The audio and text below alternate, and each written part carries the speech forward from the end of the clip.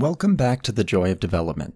Today we're going to be wrapping up our under construction method for our procedurally generated levels project. The first thing we're going to cover is actually something I forgot to set up in the previous episodes. Up until now, the randomness of our rooms has depended on the doors spawning them. And while this does work, it does limit the variety of rooms that you'll experience.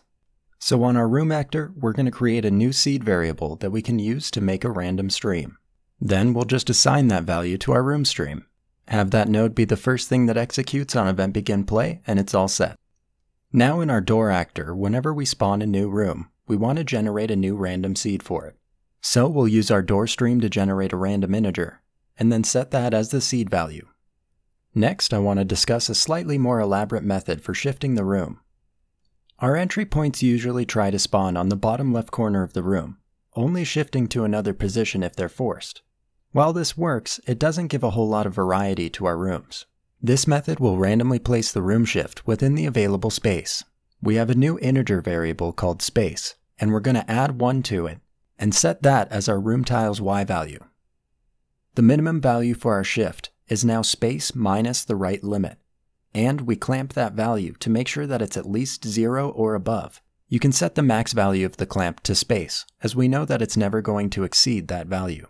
Then we're going to take space and left limit and get the minimum value of the two, and we'll set that as the maximum value for our shift. To get the space variable, we're going to take our right limit and our left limit and add them together. Then we'll take the minimum value between that and our room size limit. Now we'll get a random integer between 0 and that number. The result will be a randomly shifted and sized room that fits within the available space. So now we'll preview the game and show you how this looks. Opening the first door, you can see an immediate change. Rather than spawning on the lower left corner, it's now spawned on the lower right.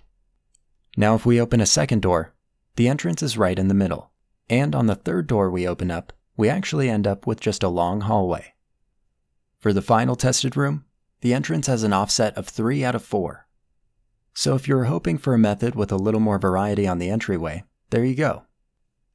Now the final thing we'll be covering for this video and for the under construction method will be our overlapping doors and walls. We're going to jump into our wall or door reconstruct method. If you remember from the previous videos, we'd been bypassing a lot of code in this function. I collapsed that code down into a macro, both to make the blueprint look cleaner, and because we're going to need to use the code elsewhere. So let's connect that up, jump inside the macro, and see what's going on. We're going to take our rotation and we're going to get the axes, x is our forward vector, y is our right vector, and z is our up vector. We're going to multiply x by 200. We're going to multiply y by 20, and we're going to multiply z by 200. We're going to add each of those results to our location. Then we're going to transform that location into world space. We'll set the result as our start point on a line trace. Next, we're going to multiply the right vector by minus 40. We'll add that to our start point in local space. Then we'll transform that location to world space and set that as our endpoint. If it hits, we're going to get the class of the hit actor. We're going to check if its class is a door.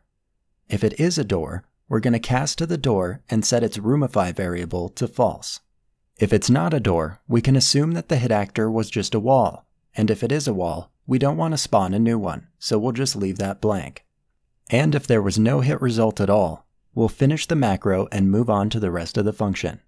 Now we have to jump into the spacer function because we spawn walls there too. We'll put the macro before each of the wall spawns. For the first wall spawn, we only need to change its location. So we'll use a make vector node. And same as before, minus 400 on the x, plus 400 on the y. And then we'll plug that into each of these three locations. And on the second wall, we have a make rotator node, and we're going to rotate it by 180 degrees on the z-axis and we'll plug that into all three rotations. With that set up, our under construction method is complete. We'll preview the level and we'll start opening some doors. Following the same path we did last time, getting to the fourth room, we open up both the doors. Entering the second door, we look at the left wall, and we'll notice that one of the walls isn't labeled. Well, if we get close to it, you can see a green line representing a positive hit result. So since there was a wall already here, it didn't bother spawning a new one. Were this a door, it would simply disable its Roomify variable. Now with all that set up, our under construction method is complete. We'll be covering alternative methods in future videos, as well as starting entirely new projects. Until then, experiment with this technique and see what you can come up with. Thank you for watching The Joy of Development. If you enjoy the channel, please be sure to subscribe, hit the bell icon, and smash that like button.